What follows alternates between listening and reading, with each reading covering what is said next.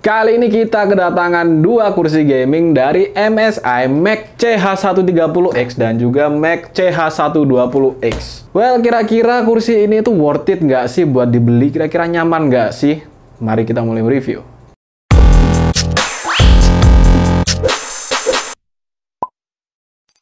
Hai, welcome back to One IT Solution. Bersama saya Bayu dan kali ini kita akan mereview dua kursi gaming. Dua kursi gaming, bukan satu kursi gaming. Karena dua nih kayaknya kita nggak mungkin juga ya kalau nge-review langsung bebarengan. Jadi kayaknya kita keluarin satu dulu kayaknya hmm, kita pilih yang ini dulu kali ya. Ini permisi.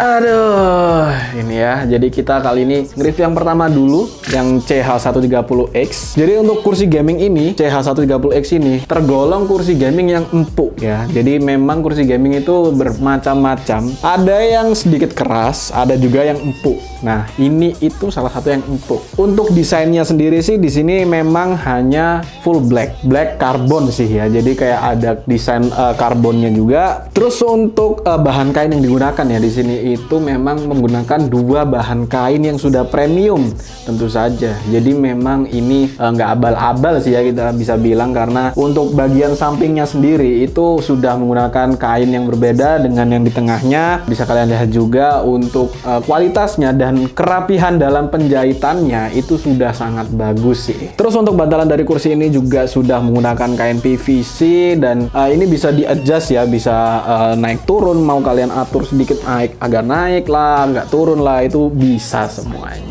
Kemudian untuk desain sandarannya sendiri ini itu sudah didesain secara ergonomis yang mengadopsi langsung dari kursi racing nih. Kalau kalian tahu ya pasti memang bentuknya itu mirip banget sama kursi racing, kursi balapan yang biasanya kalian lihat mungkin ya di film atau mungkin memang langsung lihat balapannya dan ini memang diadopsi juga seperti itu. Well, rata-rata kursi gaming juga seperti itu sih ya. Tapi anyway, ini untuk desainnya sendiri itu memang sudah didesain sedikit detail itu sehingga kenyamanannya itu pun terjaga. Dan untuk sandaran ini sendiri itu bisa turun hingga 150 derajat. Itu untuk turunan maksimalnya. Kemudian jika diberi tekanan itu akan menambah hingga 30 derajat sehingga ya bisa 180 derajat sih. Kalau saya sendiri yang merasakan ya itu memang dia nggak yang rasanya tuh kayak mau jatuh gitu loh. Mungkin teman-teman sudah pernah nyobain juga ya. Ada beberapa kursi gaming yang kalau kalian sandarannya itu sampai 180 derajat nggak sampai 180 bahkan itu rasanya udah kayak mau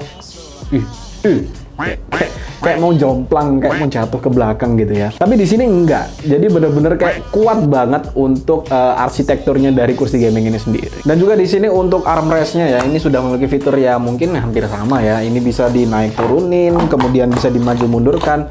Cuman yang cukup disayangkan ini nggak bisa dimiringin ya. Jadi kayak nggak bisa serong-serong begini Well, tapi ya mungkin gak apa-apa lah ya, itu cukup. Kalau saya sendiri juga pribadi mungkin gak terlalu uh, mencari yang perlu diserong-serongin. Yang penting kalau saya itu, saya lebih suka yang empuk sih. Ini ini beneran, ini empuk banget sih. Kemudian untuk kerangka kursi gaming ini, itu sudah menggunakan bahan dari metal alias besi ya, jadi udah nggak plastik. Well, untuk yang harganya memang cukup murah ya, kursi gaming yang cukup murah, di bawah mungkin 2 jutaan, itu masih menggunakan plastik. Jadi kalau patah ya sudah, mungkin harus ganti gitu ya. Kalau misalkan ini patah pun karena dia dari metal, at least bisa dilas lah, masih bisa disambung lagi. Jadi nggak perlu kalian kalau misalnya ya. Ya harus beli lagi sih kayaknya. Enggak ini masih bisa lah ya. Dan untuk beratnya sendiri ini perkiraan itu ada di angka 25 kg hmm cukup berat sih ya. Tapi ingat semua ini sudah menggunakan besi. Jadi faktor beratnya itu memang ada pada besi itu sendiri sih. Kemudian untuk pegasnya ya buat teman-teman mungkin nggak usah takut lagi karena di sini sudah menggunakan sertifikat kelas 4 yang mana ini sudah teruji akan kekokohannya. Jadi kalau misalkan kalian ya memiliki badan yang cukup berat nih ya, nggak usah takut patah. Di sini juga sudah teruji dengan sertifikat yang sudah kelas 4. Kemudian untuk rodanya sendiri di sini sudah 60 mm dan ini juga tergolong cukup besar ya. Hanya saja pada roda di kursi ini itu masih belum tersedia rem ya. Jadi masih belum bisa ngunci untuk roda dari kursi ini. Dan untuk harga dari kursi Mac CH130X ini itu dibanderol dengan harga Rp3.690.000 di toko kita ya. Mungkin kalau di toko lain memang berbeda harganya, tapi kalau di One IT itu harganya adalah yang saya sudah sebutkan tadi dan kalian bisa langsung kunjungi link yang ada di kolom deskripsi jika kalian ingin melakukan pembelian ya. Buat saya sendiri sangat menyarankan ya karena ini memang enak sih. Hmm. Uh, enak banget ya. Oke, kayaknya kita akan lanjut untuk ke kursi yang kedua, yaitu CH120X. Oke, sekarang kita sudah menggunakan kursi yang CH120X ini ya, Kak. Cek, nggak nyaman. Kursi ini sendiri sebetulnya hampir mirip ya sama yang tadi kita review. Mungkin untuk ukurannya memang ya sedikit berbeda ya. Ini kursi ini sedikit lebih kecil dan juga untuk uh, desainnya juga sedikit berbeda. Untuk bahannya sendiri memang sudah rata-rata di sini menggunakan PVC ya untuk kainnya dan juga uh, di sini tidak dikombinasikan untuk kainnya. Bisa teman-teman lihat nih ya, kainnya uh, semua sama, hanya saja di sini yang berbeda warna. Untuk warnanya di sini memang ya saya suka di warnanya. Saya suka warna hitam dan juga merah ya kombinasi yang wuhu. Tapi ya memang begitulah ya, sedikit berbeda, harga pun juga berbeda. Untuk nice. Untuk rata-rata semuanya sendiri juga ya hampir sama. Dari apa yang saya jelaskan tadi itu semua hampir sama. Untuk uh, pegasnya juga sudah menggunakan sertifikat kelas 4. Kemudian uh, untuk fiturnya di sini juga hampir sama, cuman ada yang beda. Kalau di sini memang bisa naik turun juga, ya. Bisa maju mundur juga. Aduh, eh oh ya maju mundurnya dikunci. Ini jadi ada kuncinya di jempol ini depan ini ya. Ini untuk maju mundurnya. Kemudian bisa diserongin. Nah, kayak gini. Ntar ini kayaknya ke bawahan. Untuk kursi ini sendiri memang ada yang beda juga itu pada ukuran bantal ya. Di sini bantalnya hmm, kayak lebih kecil gitu loh. Sedangkan kalau yang tadi sebentar ini untuk bantalnya itu besar cuy. Ini lebih besar ya. Kalau dibandingin ukuran bantalnya sendiri juga beda. Tapi ya kelihatan lah ya lebih besar mana. Lebih besar yang ini. Isi gantian.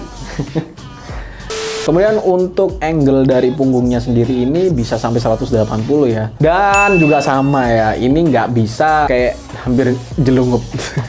kayak hampir jatuh ke belakang itu enggak sih. Sama-sama kuat. Jadi emang sama-sama bagus. Bahannya pun juga rata-rata sama di sini masih menggunakan besi. Yang mana ini memiliki berat yang malah lebih berat ya dari sebelumnya. Yang ini beratnya mencapai 27 kg kurang lebih. Well, di sini kalau saya bilang ya memang perbedaannya itu cukup kelihatan dia kayak di bantalannya ini, kemudian lebarnya ini juga karena ini kerasa kayak lebih kecil dibandingkan yang tadi. Kemudian untuk penggunaan kainnya juga di sini hanya menggunakan satu macam kain. Kemudian wah overall intinya ini cukup berbeda tapi ini sama-sama empuk. Jadi kedua kursi gaming ini itu sama-sama empuk, sama-sama enak. Tinggal kalian aja lebih suka yang mana. Misalkan ya, badan kalian lebih besar nih. Mungkin kalian akan mempertimbangkan menggunakan yang 130X. Tapi misalkan kalian berbadan besar menggunakan ini pun ya kelihatan ya seperti saya ya, masih oke-oke aja sih ya. Masih enak kok.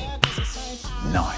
Well, meskipun ada sedikit perbedaannya ya itu tadi ya sudah saya sebutkan. Dan juga ada lagi nih yang berbeda yaitu pada rodanya. Kalau yang tadi itu di 60 mm tanpa ada remnya, untuk kursi ini itu memiliki 72 mm untuk rodanya ya, untuk ukurannya jadi lebih besar dan juga ada fitur remnya. Jadi bisa kalian lihat ya, ini tinggal diinjak aja udah ngerem. Jadi misalkan ya kalian bermainnya itu nggak suka yang kayak rodanya itu gampang gerak gitu ya, pengen pengennya stay still, diem aja, ya kalian tinggal rem, nggak harus semua sih. Kalian bisa rem di tiga roda, atau mungkin dua, atau mungkin semua ya bebas. Intinya ini sudah ada fitur untuk ngeremnya. Dan untuk harganya, di sini dibanderol dengan harga 2.800.000 di toko kami ya. Kalian bisa langsung cek marketplace kami ya, link sudah disediakan di kolom deskripsi. Dan ya bisa langsung kalian buy out juga kalau misalkan kalian tertarik ya. Ini harga untuk di toko kami ya. Jadi ya jangan dijadikan patokan kalau semua semuanya sama harganya segini gitu ya. Well anyway, buat teman-teman yang sudah menonton video ini hingga akhir, terima kasih banget dan jangan lupa untuk klik tombol subscribe dan bunyikan loncengnya supaya kalian gak ketinggalan video-video terbaru dari kami. Dan jika kalian sudah ada keinginan nih pengen beli kursi gaming daripada pakai kursi yang gitu-gitu aja, kalian bisa langsung